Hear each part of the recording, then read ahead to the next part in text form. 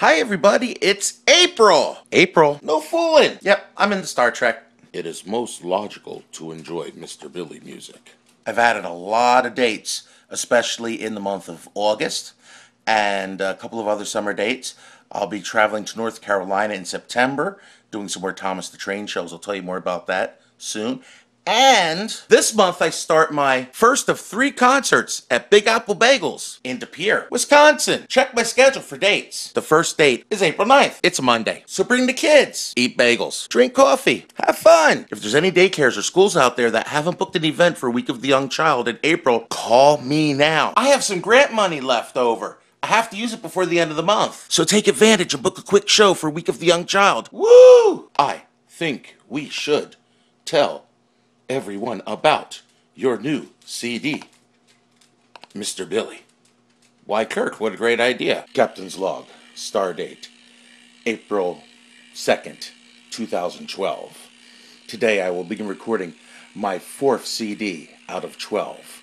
As you know, I'm recording 12 CDs in 12 months. We finished the first three CDs on schedule on the M Class planet planet Earth. I think I'm getting a little carried away here. Ah!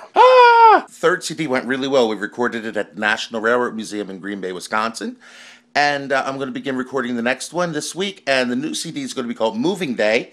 And it's all about uh, movements, songs with movements, exercise, dancing, all kinds of good stuff. Fascinating. I recently did a TV show uh, where I talked about the project, and I'm going to show that to you this month. And uh, I hope you enjoy it. And uh, we'll be back again in May, which, by the way, is my birthday month. Mr. Billy, party like it's your birthday. Anyway, here's me on uh, WBAY with Kevin Rompa. I hope you enjoy the show. And uh, see you soon. Happy April. And talking to Mr. Billy in just a second here. This is his website, uh, 12 CDs in 12months.com, because that is what Mr. Billy, uh, children's entertainer, is up to. So we're uh, entering our fourth month here, and we got uh, three of the CDs done. We're seeing those in front of us. But um, let's talk about this. You, you decided, uh, I've got this wild idea. 12, it's pretty ambitious, 12 CDs in 12 months. Right. Well, uh, there's a fellow, a fellow on the internet that actually did a song a week for a year. Ah, yeah, and yeah. I thought, you know, I, I could probably do that. But then I figure I sell more CDs uh, than I do single songs. Kids like to hold the CDs in their hands. Right, right. So I figured maybe I'd do this. And it's kind of like my version of doing like a triathlon or a marathon or climbing a mountain. I mean, I'm not the kind of person that's ever going to do that. so this is like my version of pushing myself and uh, doing something different that's never been done before. It, it started out as a simple little idea, but it's kind of taken a life of its own and it's quite interesting what's been happening since Is it as hard as it sounds? Actually, no, it- it's not hard at all. It's Well, let's fun. do two CDs a month for 12 months. next year. No, right now. Let's, Let's do that. Like up at the ch- uh, maybe right, next year. Let's not push it. All right. so you got three done, and they are right here. Right. And uh, next week you'll have what the April one will be done then. We're starting the uh, You're starting we're starting the April one next week, right? And uh, each month has a theme. So the first month was for the library summer reading, and that's called uh, Rock and Roll All Night. Mm-hmm. Okay. Then the second one's called Electric Bananas, which is uh, a bunch of uh, fun songs with appeal. It's just crazy R, songs. R, R. R.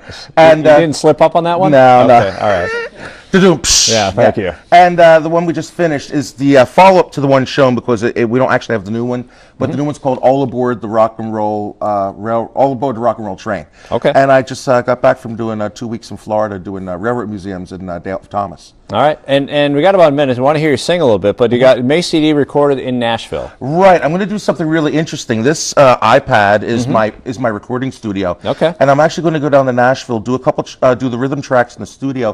Then I'm going to walk around the streets of Nashville with my iPad and a microphone, and I'm going to meet musicians in the park, in the nightclubs, on stage. Say, hey, would you like to record on my CD? And I'm going to attempt to get total strangers I've I never like met that. in Nashville to, uh, to be the band in Nashville. So. All right, go ahead. Let's play us a song. We're running out of time, and Sure. uh, take it a commercial. All right.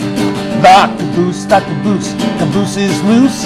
Caboose, the caboose, the caboose is loose. Caboose, the caboose, the caboose is loose. We gotta catch that caboose. Let me tell you about it.